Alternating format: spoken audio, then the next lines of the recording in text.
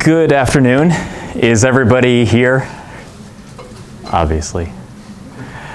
Uh, so the purpose of a university is to create knowledge. We are all involved in the creation of knowledge uh, through research, the curation of knowledge, the protection of knowledge, the, um, the repository of knowledge. So we're the people that uh, that, uh, that, that remember what knowledge was created. Because if there's a zombie apocalypse, we want to make sure that all of the knowledge still exists. That's one of the roles of the university.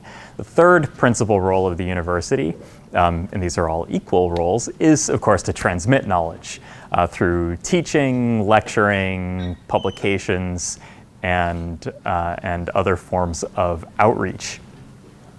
Now, a critical part of the teaching enterprise involves all of you in this room, and that is teaching assistantships.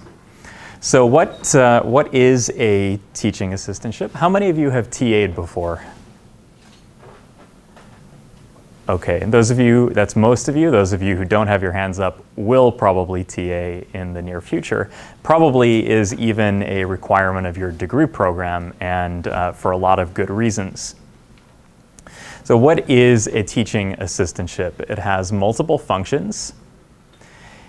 The one that you're probably most familiar with is that it provides support for graduate student researchers. So if you are lucky enough to be on a fellowship, um, there's not necessarily a requirement, a financial requirement to teach, although you may still want to do it for one reason or another, and also your degree program will, will require it. Um, if you're PI, PI, by the way, I used that word before, not everyone knew what that meant. PI means principal investigator, which means professor. In the world of research, sometimes we use the word PI. Uh, so the, uh, the, the PI doesn't have to pay the graduate student in the quarters in which they, uh, they are a TA. It reinforces the knowledge of the course material with the teaching assistant. So have you ever had the, the, the experience of not truly understanding something until you have to transmit it to some, somebody else? And also, when you're up in front of a group of 10 or more people and you're saying something and it's not making any sense, it's immediately obvious that not only is your explanation or my explanation not that good, but maybe if my explanation is not that good, it means I don't really understand it as well as I ought to in order to be able to transmit it most effectively. So our fellow humans, particularly the people in our classes, are very good at, at telling us when we are not doing our jobs, uh, our jobs well. And it provides uh, relief to the faculty member. So um, while grading papers is not the most fun activity that a TA can, uh, can do, um, the, you, can, you can rest assured that the professor has graded a lot of papers in the past. Uh, and this is the, kind of like a, a, little bit of a rite of passage. Everybody turns the crank at some point, and if your professor is a really, uh, really good uh, person, they will grade the, the tests with you. And there may be pizza involved. All right, there are three types of TA, and this is how it kind of works at UCSD. Every department is a little bit different, but in general, there are full-time uh, te teaching, teaching assistantships, and they are 20 hours per week. Part-time is 10 hours per week, and a reader, which is also known as a grader, is uh, also 10 hours per week. How does the accounting work in a university system? The TA allocations are given to the departments based on the number of undergraduates enrolled in that department. So the number of undergrads, they get some allocation of uh, TA-ships to that department, and then the department has to come up with the rules for how many, uh, how many students in a class constitutes a need for TAs in units of half-time TAs. So typical in the engineering school at UCSD is 10 hours of TA support per 40 hour or 40 uh, students enrolled in a class. Usually, depending on where you are, either before or after advancing to candidacy, the TA-ship doesn't necessarily cover the full GSR uh, stipend, but a PI can supplement from a, from a grant, but only if the grant is a certain type of, of, of grant with minimal restrictions. So I would suggest that you communicate with your PI the quarters that you TA um, in order to discuss whether or not there may or may not be a, uh, a discrepancy between the TA support and your normal GSR support. So my, before becoming a professor, so I, I sometimes joke that, uh, that there's no such thing as professor school because you get these jobs based on your ability to do research and to write about your research. Um, and uh, so the only thing that constitutes professor school in terms of teaching is the TA ships that you do yourself. So when was I a TA? I TA'd uh, a lab course for a full year as an undergraduate at Boston University. And that was uh, organic chemistry lab. Um, it was really fun. I had evening sections. Um, I was there with a, with a normal grad student TA um, at BU. There were so many undergrad chem majors that they actually allowed undergrad seniors to be TAs too. Um, and it, it, it, was, it was fun. I, I, it really was one of the, the experiences that made me want to go into teaching.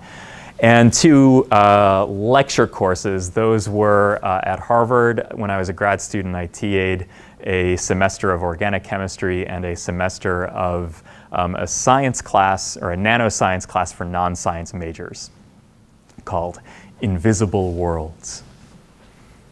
Also a very positive experience. So what are some of the advantages? You get paid off your PI's books. That's an advantage. If you are, if you're a good negotiator, you can say, "I will TA this course if you get me this $15,000 piece of equipment that I need for my research." That gambit has worked on me before. It allows you to develop a relationship with a professor who's not your advisor. That's a really important thing because oftentimes we are in a PhD program for four to six years and the only professor we end up knowing when it comes time to apply for jobs is our own PI. Uh, and that's not such a good thing, right? Sometimes you have uh, committee members, but maybe you don't develop relationships with them because you only see them uh, a couple times, like the maybe a second, fourth, and uh, year exams, and then your dissertation defense, and then uh, then that's it. So, how much of a relationship can you develop during that time? It also allows you to develop a better relationship with your advisor if the advisor is the professor of the course. Not all departments or advisors allow their own graduate students to TA their own classes, but in circumstances where this is allowed, it's often a good way to develop a stronger, uh, a stronger relationship with your, uh, with your PI to, to demonstrate your, uh, your uh, reliability and your, and your knowledge. Uh, actually, you, you develop a better relationship with your advisor whether you teach for him or her or somebody else um, because of uh, point number one on there. Uh, uh it gives you a lot of practice. Uh, many of you, all of you, will be in roles where you will be mentoring others in, uh, in industry, academics, policy, there will always be a time, there will always come a time when new people come on board that you have to teach. And there are right and wrong ways to mentor these people. And this gives you a, uh, the TA-ship gives you a nice framework for doing this. Gives you practice working with students in a more direct way if, um, if jobs in academia are your goal. It gives you experience public speaking. So public speaking is one of those things that is almost universally feared by people, and it's one of the hardest things to get over because you just have to do it. Just have to do it over and over and over and over again. And no matter how many times you do it, your pulse and blood pressure will always be higher than your pulse and blood pressure during your normal, uh, your normal everyday existence. Being a TA also helps you with time management. So research, uh, reading, uh, uh your, uh, your, your activities that do not involve school at all and teaching all have to be arranged within a 24 hour day. It allows you to continue to learn. Um, sometimes our best experiences teaching are teaching classes that we had never taken as a student. I mean, that's pretty intimidating. Um, I can tell you having, uh, having taught as a professor several classes that I've never taken as a student. Um, but this, uh, but being a TA is actually especially uh, difficult in this regard. Uh, but you end up being better off for it in the end, in my opinion.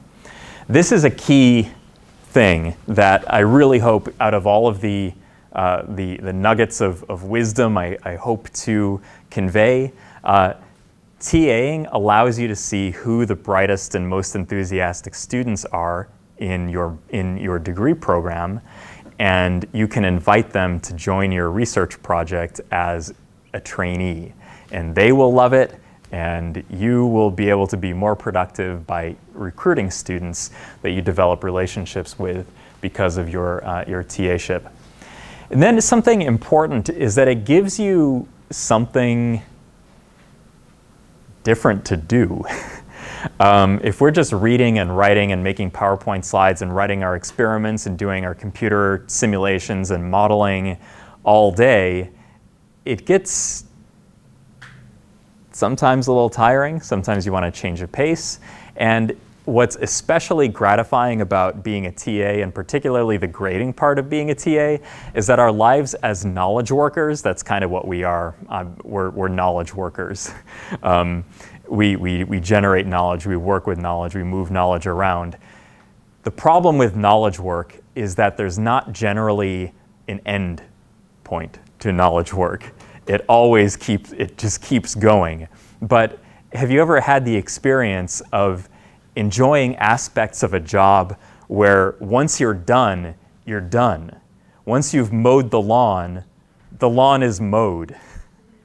Once you're done grading that giant stack of papers, that giant stack of papers is graded. Okay, how about some of the specifics of, uh, of being a TA? So you, our principal interactions as a teaching assistant with our students, um, this is the same for a professor actually, is in running office hours or, uh, or sections. So sometimes, depending on the course and what the, uh, and, and, uh, what the, what the instructor prefers, you can either have your, uh, your weekly scheduled meetings with students in addition to, uh, to email uh, appointments with students, email or, uh, arranged appointments with students, are through office hours or more formal sections. And uh, in this case, um, you, uh, the, the, the advice is to not hold your sections or office hours in the grad offices. One, you need to be able to accommodate like 10 to 20 students or 50 students before an exam, uh, and you generally can't do this in your grad student office. You'll also tend to annoy the other people in the grad student offices if people are constantly come, if students in your class are constantly coming to you uh, in the office. So my advice here is to get the professor to assign you a room, like Warren Lecture Hall in particular has smallish classrooms that hold 25 students uh, each, one time a week uh, I find that in the uh, late afternoons on Thursdays and Fridays tend to work best for this. Um, and so you could ask the professor to arrange this room, or you could you could uh, you could find you could ask the graduate coordinator um, who who arranges TA ships and uh, and the graduate courses uh, yourself, and they will work with scheduling. And a few days later, they'll find a um, uh, a room for you to arrange your office hours. And I would do this before the class starts. So before, so before the, uh, before the quarter starts, or in the first week or so of the quarter, I would get this request in. You'll find it's a lot easier to be able to write on a whiteboard or chalkboard um, uh, where you can walk around and engage with students as opposed to just kind of sitting in your office and waiting for people to come uh, to you. If you can't get a, uh, a classroom, find a common space. Uh, for example, structural engineering um, and nanoengineering and chemical engineering have access to the big outdoor, kind of quasi-outdoor atrium, but there are other common spaces in other buildings. Um, outdoors, uh, we live in San Diego. You can pretty much always go outside and hold office hours. I even sometimes hold my faculty office hours outdoors um, and uh, what to prepare ahead of time. or do you prepare ahead of time? Yes, uh, for office hours and, uh, and sections, definitely prepare ahead of time. Oh, uh, so when I was uh, teaching organic chemistry, um, we had these formal sections where the, the undergrad students were assigned to come to the TA sections. And so I had two TA sections per week, and we had material that we had to go over. And we had a lot of control over what we could put in the, uh, in the, the notes for the section, but we had to cover some basic points from that week. And I always found that, so I had like a, like a 2 p.m. and a 3 p.m. section. And the 2 p.m. section uh, was, was rickety. It was, it was not my best work. Um, students were asking things that I hadn't anticipated. I wasn't very effective at this. Um, but then when the 3 p.m. section rolled around, which was just immediately following the one I just had, I was on top of the world. I, I, had so much confidence. I could, I could anticipate what was going to be asked. I knew what all the pitfalls were going to be. Uh, and when I told this in our, our, our TA uh, uh, meeting, we had a professional instructor who was in charge of the TAs uh, for that course. And I told him this, uh, this, this anecdote. And I, and I thought, and, and I said, oh, you know, um, the, second, the second section just goes, um, uh, just goes really, really well. And, and I thought he would kind of be proud of me for, for correcting my errors. And he said, that means you were unprepared for the first section, which is true. I had no, no, no comeback to that. Uh, know what you're going to talk about ahead of time. Are you going to prepare your own material? So oftentimes the best thing about a TA is because they learned the subject more recently than the professor did, sometimes, um, ideally.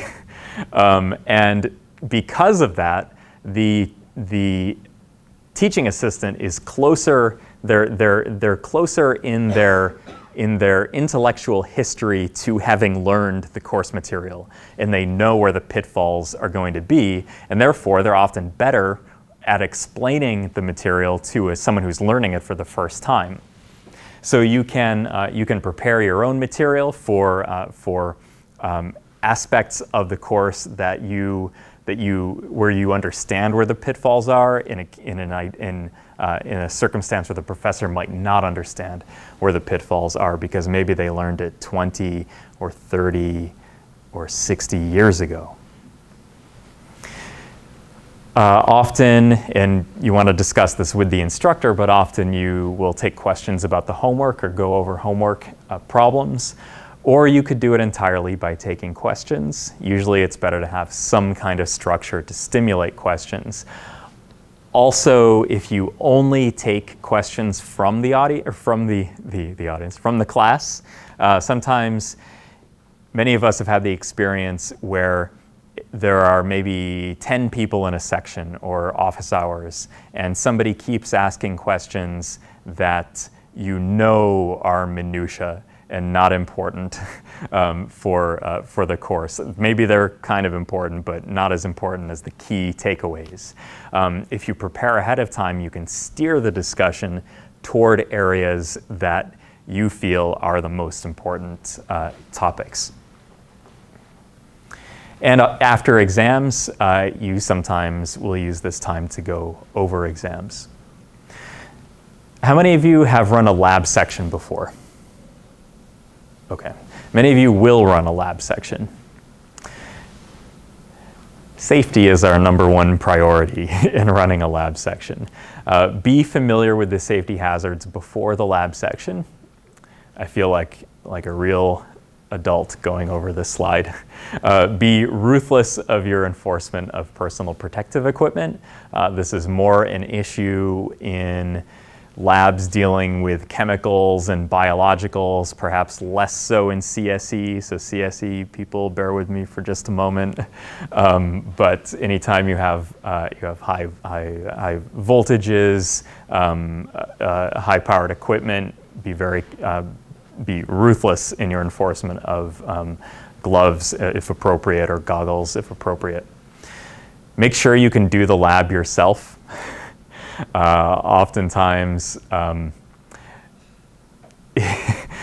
oft, oftentimes, um, at least I found being a student, uh, and sometimes even being a TA, uh, perhaps when I did the practice round, I didn't actually get the thing to come out right.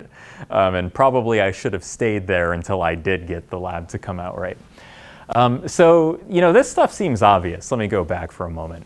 Number one, number one priority is safety. Uh, one time we had um, this chemical uh, called lithium aluminum hydride, which uh, reacts, so it's, it's shipped as a powder, uh, but it's, it's in mineral oil because it can't come into contact with air. So if you leave it out and the oil kind of drips away or it gets rinsed off somehow and the lithium aluminum hydride reacts with water, the hydride, which is H minus, so a proton and two electrons, comes into contact with, uh, with the protons of water and reacts very exothermically. So we had a fire in a trash can. And when we told the TA, the TA took the nearest thing that was wet, which was a bottle of acetone, and was two seconds away from pouring the acetone on the trash can fire until the students said, No, you idiot, that's acetone. Don't do that. So then they found the, uh, the metal fire, yellow fire extinguisher, and put out the trash can fire that was caused by the lithium aluminum hydride. Okay. So don't assume, just don't assume sometimes you're TAing with another TA. Sometimes, especially in lab sections, you have two TAs in the lab section. You want to trust that person with your life, right? They, they should also know, you know, who's running, who's steering this ship. Be aware of the pitfalls, safety, and technical and try to assess understanding of the concepts as you walk around. So not just do they know what leads to plug into which sockets and what, uh, what, uh, how to manufacture a particular uh, device, but make sure that the students actually understand why they're doing what they're doing. Uh, and how do you know? You ask them. you ask, what are you doing? why is this step important? Uh, get to know the lab teams and the par- and and the, the uh, and and the partnerships that uh, that form. Um, know who's uh, so sometimes the lab sections are three to four hours long. You have a lot of time with these people, so you have a, you have the opportunity to uh, to really behave as a mentor for them, to know which ones are. Um, uh, are, are pulling their weight and which ones are not, for example. Sometimes lab partners in the, uh, in the lab section, one of them will do all the work. Probably if you are in, since you are all in graduate school, you were the ones that did all the work. and then sometimes you had lab partners who didn't do anything and didn't read the pre-lab and didn't go to the lab lecture. And so uh, you can help uh, you can help these partnerships by identifying, like if someone's just standing around not doing anything, um, you can kind of encourage them. Feel free to interject extra knowledge um, because you know this. Um, you, you know this topic and the students are learning it for the first time. You can be part of the uh, the, the, uh, the educational enterprise by, by instilling a sense of, of excitement about the work um, and make it fun. Often lab sections are in the evening. Sometimes you'd really rather be, uh, be home doing something else, uh, but this is your opportunity to kind of um, uh, uh, to, to, to, to, show off, to mentor, to do, um, to do uh, good things. Oh, and there's safety again, because it's so important. How do you assess the understanding of students? So here are some pictures of chimps and this guy. You can look at facial expressions. Don't assume anything is easy. Uh, students in, uh, and humans in general, won't usually betray their ignorance. A lot of times, even your PI, you'll go in for your weekly or monthly meeting and you'll say, I did this and this and this and this and this and this, and they'll say, uh huh, uh-huh, uh-huh, uh-huh, uh-huh, of course, yeah, mm, got it, yep, uh-huh. And then at the end of the meeting, they'll ask you the most obvious question about the whole thing. And, uh, and even though it was on every slide, uh, even your, your professor might, might just, because they're, they might be too embarrassed to, uh, to say, or they, they feel like, uh, like, oh well, I'll just learn it later when the when the draft of the paper comes to my to my desk, uh, and then they'll say something that betrays their ignorance, and uh, and then you then it calls into question. Did, did they understand anything that I said? Well, if professors do that, which we do, um, the undergrads that you have in your in your uh, office hours and in your lab sections will also do that. Will certainly do that. Um, so get them to do something other than head nodding and saying yes, yes, yes, yeah, yeah, I got it, got it, uh-huh, uh-huh, uh-huh. Have, have them get science, coax scientific language from their mouths, and then you can, you can more accurately assess their understanding. Look at facial expressions. Sometimes in a section you see, um, you know, some, some some students are, uh, are really have, have a, this is a financial term, but they have a really high beta. So if they really, if they don't understand something a little bit, they'll go. And so, so even, even, if your, even if your explanation is not quite up to, up to par, and then you'll see a few people go. And then, then you know that there are other people who are sitting there stoically who also don't get it. Ask. Ask if what you said makes sense. Because uh, to, to uh, the, sometimes the, the minimum free energy in a, in a group of students is to not say anything, right? Because they just don't want to speak up and appear dumb in front of everyone else, even if everyone else feels the same way that none of this makes sense. Uh, but if you, if you ask or you give a little bit of yourself, like, I'm not sure if that explanation was the greatest. Are we on the same page? And people will actually respond to you. You can treat a section uh, as a discussion, discussion leader. This, if the, if the, students don't know this is coming, this is really hard to do in, a, in an engineering class or a math class or any science class of any, of any natural science class of any time, uh, of any kind. Um, you can use this method to find areas of weak understanding. And again, how? Ask the class if they get it. Uh, leave plenty of time for questions and have an inviting attitude. Try not to be intimidating to the extent possible. It's okay if you don't know the answer. It really is okay if you don't know the answer. Uh, students might get upset, but there's time, right? This, the office hour will be over eventually, and then you can go look it up. And that's how we learn and do better next time.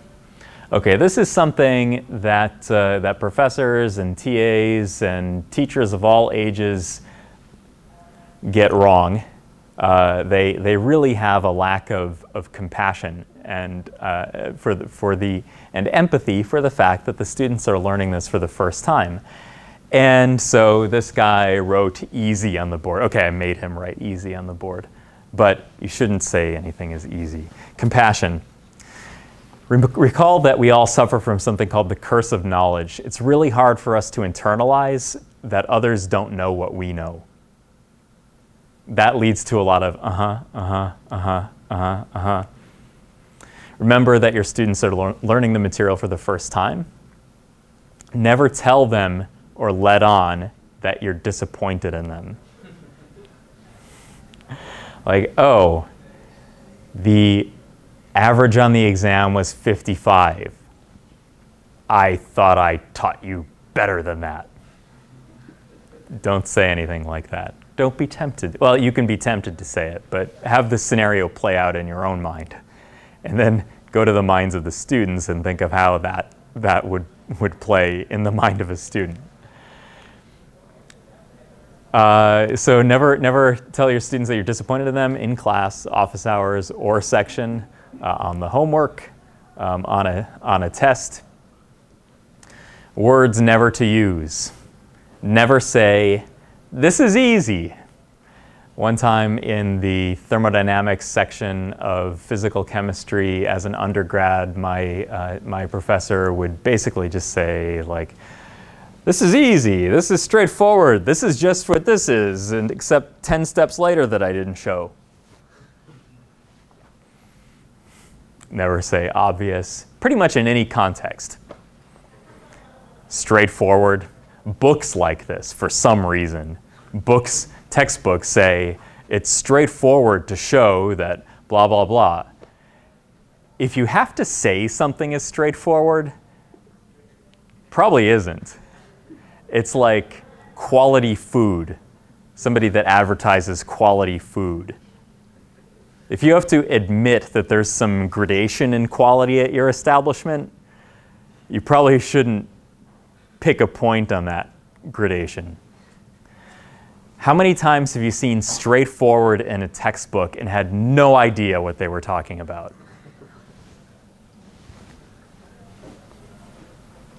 Just. Well, this is just this. Obviously, it's easy and straightforward. Sometimes you'll be asked to design homework problems. Sometimes this can be fun. I still kind of find this fun. Sorry, those of you who are in my class right now. Um, assume that students will have access to all the old homework assignments from roommates, student organizations, club memberships, etc. This is controversial because some faculty members like to recycle everything.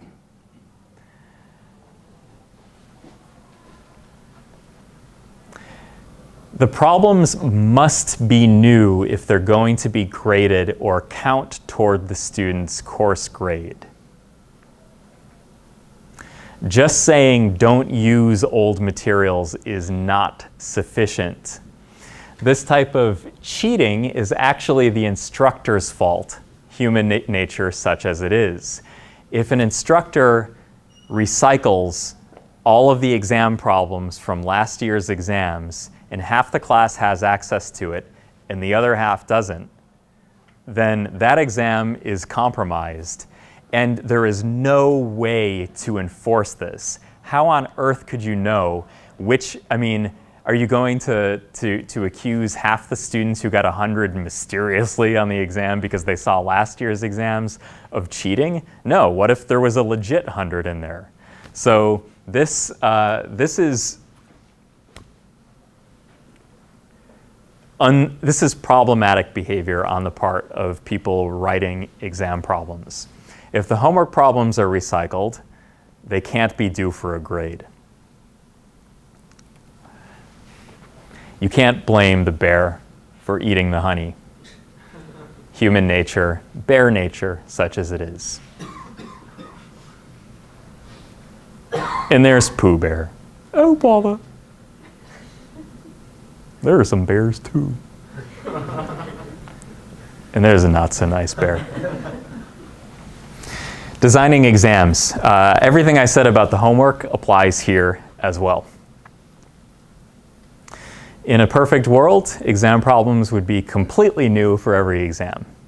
However, after many years of teaching the same concepts in the same book with the same set of notes over and over again, there are only so many ways you can reconfigure an exam to test the same stuff. But that's okay, you just got to try a little harder. At the very least, if you're going to if you're going to reuse if you're going to think about reusing exam problems, don't actually reuse them. Take the same structure, make sure it's more than 2 years old at least change the, ch change the scenario in the problem, if not the structure, and for God's sakes, change the numbers at least.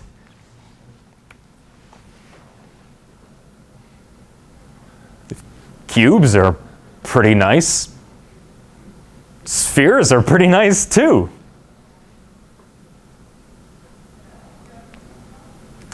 Make sure the problem and your solution key is reviewed by at least one other person before printing. The last thing you want is to, to print off 150 exams and have a critical error in one of the problems. Because how does this look to a student? This is also incidentally advice to all of my faculty colleagues as well. Um, how does it look to a student if you get up in front of the class, and I've done this like, I don't know, five times. I did it on the last exam I gave out where there was a typo. It wasn't a serious typo, I don't think. Uh, but so, so the first thing you get up, like, I'm judging all of you, and this is 25% of your grade, but I made a mistake on this exam, and here it is. Use a printing service like Imprints, or for our viewers on the internet, an equivalent of imprints. Uh, get an index number from the professor that you can use toward photocopying. Um, and you get from imprints, you get your order in 24 hours or your pizza's free. Don't be a sucker and copy, photocopy all your own stuff. There are people who are professional, get the staple exactly to within two microns of tolerance on every single packet. It's great. Use a professional for this. Grading, make exams easy to grade. If you saw my talk on teaching last, uh, last year, there is a little bit of repetition, but I'll have some, some different words. Different words will come out. Make exams easy to grade uh, or use an easy grading scheme. Uh, you don't want this to take forever because grading can take forever. Make it a game, make it a goal of spending no more than 30 seconds on each problem while maintaining absolute consistency. Grade the lab reports fairly if you're, if you're TAing a lab section. If there's no rubric, ask for one. If the professor doesn't have one, make a rubric yourself and write it all out ahead of time so that you're exactly consistent. We've all been in the scenario where two students come to you or one student comes to you my friend got this marked off and you didn't mark this off. My, my friend got, got points for this and I got marked off for that. You know, what gives? It's exactly the same. Chances are there's something else that's not quite the same about those two papers, but oftentimes uh, they have a point and it's because we didn't use a consistent uh, grading rubric. So be very, uh, you know, don't make your life unnecessarily stressful. A lot of times these uh, issues that come up in, in teaching can really cost us a lot of heartbeats and, uh, and, uh, and sleep if you get accused of, of, uh, of grading unfairly. Make the key available so you can write the score only. So don't correct, don't write the right answer out. Don't write the full solution with everything out on every single exam paper. If the solution key is posted afterwards, all you have to do is write the, num the number of points grade in red pen.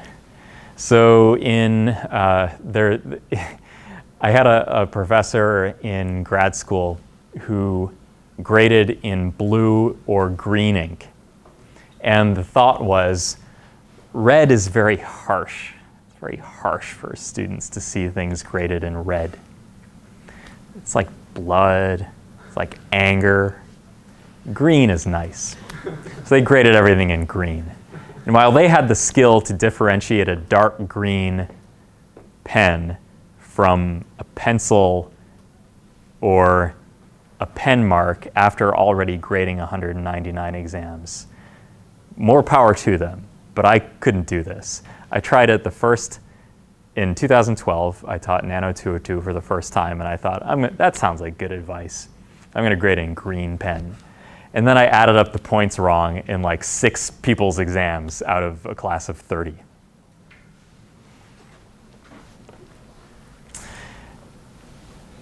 Incidentally, this is green. Give students the benefit of the doubt. It's curved anyway, so who cares? Just give them the points.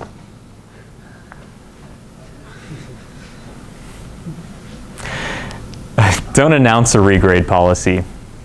Uh, if you announce a regrade policy, one time I announced a regrade policy. My regrade policy is always the same whether I announce it or not.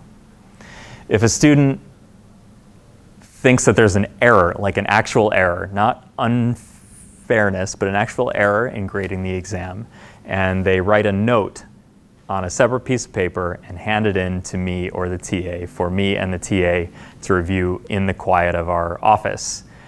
Um, that's the regrade policy that I use.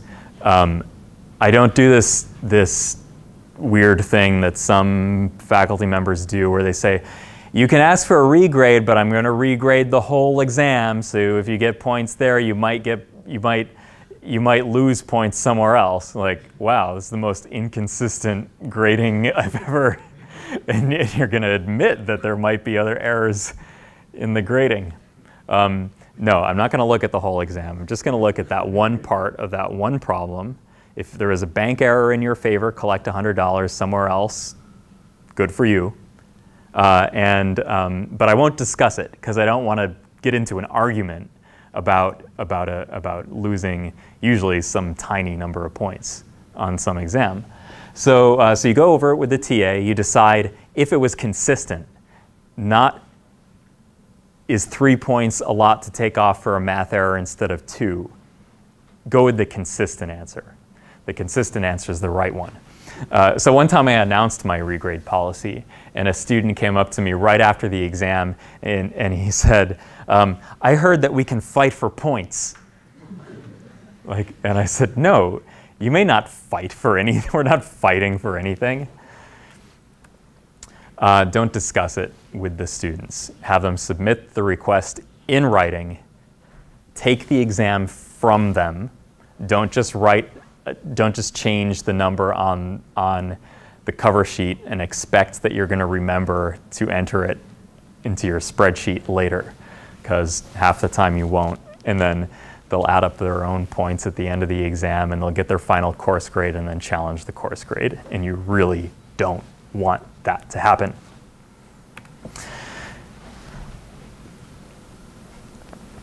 Okay, few, uh, few pointers on lecturing. So lecturing, this could be a section. I don't mean a standard lecture. I could, this could be office hours with five or 10 students. Err on the side of loudness and speak clearly.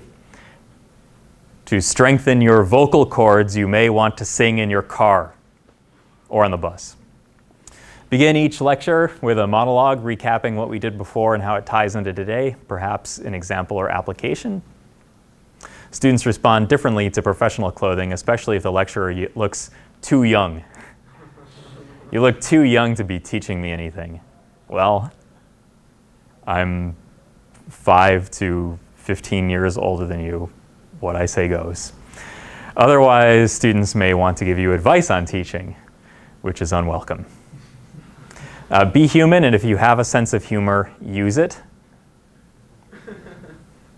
What's acceptable is, uh, is to, to be funny or to be awkwardly not funny is still kind of funny. Unacceptable is barely funny, like if it just smacks of effort or if it's creepy. Esoteric jokes are my favorite. Um, they're the ones that two or three people in the audience just, just do some ROFLing uh, and then no one else gets. And then I know I've reached somebody. Um, the Crayola, thin Crayola chalk sucks. Buy some Hagoromo chalk available on Amazon.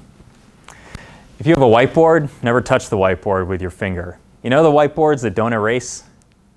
It's not the whiteboard's fault. It's all the sebaceous gland secretions that have accumulated on the whiteboard, which is why you need special chemicals to wipe them down. All right, sometimes, sometimes there's a crisis and we get called out for something that we don't know. Most people, including professors, TAs, anybody, lose mental alacrity when speaking in front of 10 or more conscious, judging beings. The depth of uh, your knowledge does not maintain a constant distance from the level of your presentation. You can't expect it to be know every topic equally well. So you know how um, during election season, like CNN has that asinine thing at the bottom where they have these this focus groups of Democrats and Republicans, and they turn a dial. When they say something they like, they turn the dial. I like that. When they say something they, they don't, they turn the dial the other way. And then you have these plots. I don't know if they still do this. It's like that puck highlighting thing they used to have in hockey uh, broadcasts. I don't know if they still do that either. But anyway, like five years ago, they used to have these, oh, oh the Democrat said something good, the Republican, and then the other way around, and then, uh, oh, they, they, they agreed on something. Yeah. Same thing is kind of true in teaching, where here's the level of your presentation, and here's the level of your depth of understanding. Now, ideally, it's like this the whole time but that's never how it is, is it? Sometimes you're like here and it fluctuates, and sometimes you, you're like this and you flatline. And during these periods, that's when if a student asks a question, you have no idea beyond what you already put on the board. Sometimes we, those are our most vulnerable moments when we're presenting exactly what we know about the topic and we don't know anything else. What if that happens? First, you don't want to be here that much, right? you don't, that goes without saying. But we're all human, and uh, we have a million other things to do. What if you don't know the answer to a question? So there are three sort of types of questions that fall into this category. A student asks for depth or an example of an application, and you can just say, uh, that's a great question. I don't know, I'll find out for you. Please see, send me an email to remind me. What if the student asks something about the course material, like a derivation? What if you put the derivation on the board? And what if they say, where did that factor of 2 come from? I don't understand where that came from. If you've done a derivation on the board, maybe you do the same derivation, maybe you taught the class last year, and you really knew it then, and it's in your notes. And I'm just going to write it down again and but I didn't go through the sweat, the uh, the, the, the, the, the difficult uh, process of relearning exactly where everything came from. You didn't solve all the integrals again. You didn't draw out the geometry of the problem again, and in the heat of the moment, you just don't uh, you just don't know. So. Uh, if you have a book you can give them a page number, but you can also you should also go, I'll find out for you. Please send me an email. If you want to be a smartass, you can say this. Sometimes it's true. Okay, don't say that. Uh, students, what if what if the student asks you something about you wrote on the board uh, that you just can't explain? Like really minimize the probability of number three happening. Uh, but what if you do know? But what if you're really nervous and you forget? What if you really do know if people weren't just staring at you? If the clock wasn't ticking and people weren't staring at you, judging you, you'd be able to figure it out. And maybe you did know before somebody took you to task in front of everybody, um, because that does, that does happen and we have mental lapses. And in that case, your best bet is to say, I understand the question, I just can't see it right now. Don't lie, don't make something up. Um, I'll send an email to the class right after we're done. And you're going to remember to do it because scenario three is really embarrassing. And thank them for your patience with you. Okay. Uh, if you want more information about this, I would encourage you to reach, reach out to me on the web. I have all of these lectures on YouTube. I've done uh, lots of them by now. Ironically, the one about presentations is very poorly presented. So I'm going to redo that one. So if you're going to watch any of them, do that one later. Um, and uh, I should say that, all right, I'm going to turn the camera off before we take uh, questions.